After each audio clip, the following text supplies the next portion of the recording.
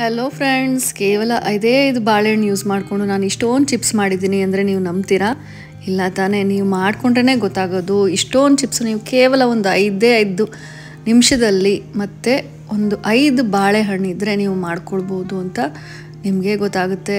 ತುಂಬ ಗರಿ ಗರಿಯಾಗಿ ಬಾಯಲ್ಲಿಟ್ಟರೆ ಕರ್ಗು ಹೋಗುತ್ತೆ, ಅಷ್ಟೊಂದು ರುಚಿಯಾಗುತ್ತೆ ಹಾಗೆ ಒಂದು ಬಾಕ್ಸ್ ಫುಲ್ಲು ನೀವು ತುಂಬಿಸಿ ಇಟ್ಕೊಂಡು ಒಂದು ವೀಕ್ ಆದರೂ ಏನು ಅದು ಮೆತ್ತಗಾಗಲ್ಲ, ಹಾಗೆ ನೀವು ಮನೆಯಲ್ಲೇ ಎಷ್ಟು ಚೆನ್ನಾಗಿ ಮಾಡ್ಕೊಳ್ಬೋದು ಅಂತ ನಾನು ಇವತ್ತಿನ ವಿಡಿಯೋದಲ್ಲಿ ತೋರಿಸ್ತಾ ಇದ್ದೀನಿ. ಎಲ್ರಿಗೂ ನಮಸ್ಕಾರ. ವೆಲ್ಕಮ್ ಬ್ಯಾಕ್ ಟು ಡೀಪ್ ಸ್ಟಿಲೈಟ್ ಬನಾನಾ ಚಿಪ್ಸ್ ಅಥವಾ ಬಾಳೆಕಾಯಿಯ ಚಿಪ್ಸ್ ಮಾಡ್ಕೊಳ್ಳೋದಕ್ಕೆ ಐದು ನೇಂದ್ರ ಬಾಳೆಕಾಯಿ ತೊಗೊಂಡಿದ್ದೀನಿ.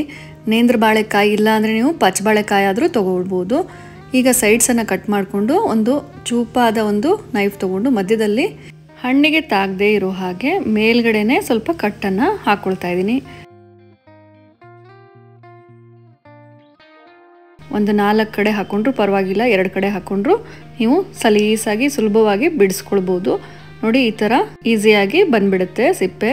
ಒಂದು ನಿಮಿಷದಲ್ಲಿ ಐದು ಬಾಳೆಹಣ್ಣು ಸಿಪ್ಪೆ ಕೂಡ ನೀವು ಬಿಡಿಸ್ಕೊಂಬಿಡ್ಬೋದು ಆಚೆ ಕಡೆ ಹಸಿರಾಗಿರುವಂಥದ್ದು ನೀವು ತೊಗೊಳ್ಬೇಕಾಗುತ್ತೆ ಬಾಳೆಕಾಯಿ. ಇಲ್ಲಾಂದರೆ ಅದು ಮೆತ್ತಗಾಗುತ್ತೆ ಚಿಪ್ಸ್ ಮಾಡಿದ್ರೆ. ಸ್ವಲ್ಪ ಕಲರ್ ಬಂದಿರೋವಂಥ ಬಾಳೆಕಾಯಿ ತೊಗೊಂಡ್ರೆ ನೀವು ಅದು ಚೆನ್ನಾಗಿರೋದಿಲ್ಲ. ನೋಡಿ, ಈ ಥರ ಚೆನ್ನಾಗಿ ಕಾಯಾಗಿರುವಂಥದ್ದೇ ಇರಬೇಕು.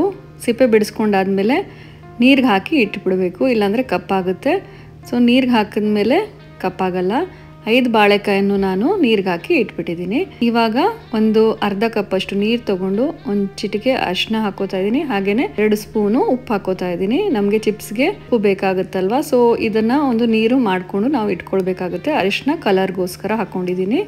ನಂತರ ಮೇಯ್ನಾಗಿ ಬೇಕಾಗಿರೋದು ಈ ಚಿಪ್ಸ್ ಮೇಕರು ಚಿಪ್ಸ್ ಮೇಕರ್ ಇದ್ರೆ ನಿಮಗೆ ಬೇಗ ಒಂದು ಐದು ನಿಮಿಷದಲ್ಲಿ ಚಿಪ್ಸು ಆಗೋಗುತ್ತೆ. ಸಣ್ಣ ಕಟ್ ಮಾಡ್ಕೊಳ್ಳೋ ಅವಶ್ಯಕತೆ ಇರೋದಿಲ್ಲ. ಇಲ್ಲಾಂದರೆ ಸಣ್ಣ ಕಟ್ ಮಾಡಿಕೊಂಡು ಮಾಡಿದ್ರೆ ದಪ್ಪ ಬರುತ್ತೆ. ಇವಾಗ ಬಾಣಲೆನಲ್ಲಿ ಎಣ್ಣೆ ಹಾಕೋತಾ ಇದ್ದೀನಿ. ನೀವು ರಿಫೈನ್ಡ್ ಆಯಿಲ್ ಹಾಕೋಬೋದು ಇಲ್ಲಾಂದರೆ ಕೊಬ್ಬರಿ ಎಣ್ಣೆ ಹಾಕ್ಕೊಂಡ್ರೆ ಕರೆಕ್ಟಾಗಿ ಕೇರಳ ಚಿಪ್ಸ್ ಥರ ಆಗುತ್ತೆ.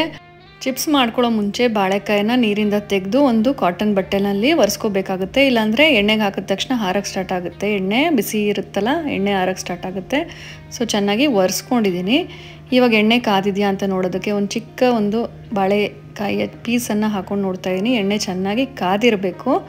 ಇವಾಗ ಎಣ್ಣೆ ಕಾದಿದೆ. ಇವಾಗ ಚಿಪ್ಸ್ ಮೇಕರ್ ತೊಗೊಂಡು ನಾನು ಈ ಥರ ತುರಿಯೋ ಹಾಗೆ ಅದನ್ನು ಸ್ಲ್ಯಾಂಟಾಗಿ ಸ್ವಲ್ಪ ಇಟ್ಕೊಂಡು ತುರಿತಾ ಇದ್ದೀನಿ. ನೋಡಿ, ಎಷ್ಟು ಸಣ್ಣ ಸಣ್ಣ ಸ್ಲೈಸಸ್ ಬರ್ತಾ ಇದೆ ತಿನ್ನ ಸ್ಲೈಸಸ್ ಬರ್ತಾ ಇದೆ ಅಂತ.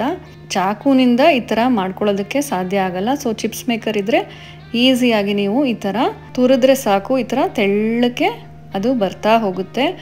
ಒಂದೇ ಒಂದು ನಿಮಿಷದಲ್ಲಿ ಒಂದು ಬಾಳೆಹಣ್ಣನ್ನು ನೀವು ಈ ಥರ ಚಿಪ್ಸ್ ಮಾಡ್ಕೊಳ್ಬೋದು. ನೋಡಿ, ಈ ಥರ ಐದು ಬಾಳೆಹಣ್ಣನ್ನು ಜಸ್ಟ್ ಒಂದು ಐದು ಹತ್ತು ನಿಮಿಷದಲ್ಲೇ ನೀವು ಚಿಪ್ಸನ್ನು ಮಾಡ್ಕೊಳ್ಬೋದು. ಎಣ್ಣೆ ಕಾದಿದ್ರೆ ಬೇಗ ಬೇಗ ನೀವು ಚಿಪ್ಸನ್ನು ಕರಿತಾ ಹೋಗ್ಬೋದು. ಒಂದು ಸೈಡು ಕರ್ಕೊಂಡಾದಮೇಲೆ ಮತ್ತೆ ಇನ್ನೊಂದು ಸೈಡ್ ಹಾಕಿದ್ದೀನಿ. ಒಂದು ನಿಮಿಷ ಚೆನ್ನಾಗಿ ಫ್ರೈ ಆದಮೇಲೆ ಉಪ್ಪು ನೀರನ್ನು ಹಾಕೋತಾ ಇದ್ದೀನಿ. ಉಪ್ಪು ನೀರನ್ನು ಎರಡು ಚಮಚ ಹಾಕ್ಕೊಂಡ್ರೆ ಅದು ಸಿಡಿಯೋದಕ್ಕೆ ಸ್ಟಾರ್ಟ್ ಆಗುತ್ತೆ. ಸ್ವಲ್ಪ ಹಾರೋದಕ್ಕೆ ಸ್ಟಾರ್ಟ್ ಆಗುತ್ತೆ ಎಣ್ಣೆ. ಅದಕ್ಕೆ ಸ್ವಲ್ಪ ದೂರ ಹೋಗಬೇಕು. ನಂತರ ಮಗ್ಚಿ ಹಾಕಿ ಎರಡೂ ಸೈಡನ್ನು ಚೆನ್ನಾಗಿ ಫ್ರೈ ಮಾಡ್ಕೋಬೇಕು. ಕ್ರಿಸ್ಪ್ ಆಗೋ ತನಕ. ಕ್ರಿಸ್ಪಾಗಿ ಹೇಗೆ ಆಗಿದೆ ಅಂತ ಗೊತ್ತಾಗುತ್ತೆ ಅಂದರೆ ಈ ಥರ ಬಬಲ್ಸ್ ಬರೋದೆಲ್ಲ ಸ್ಟಾಪ್ ಆಗುತ್ತೆ.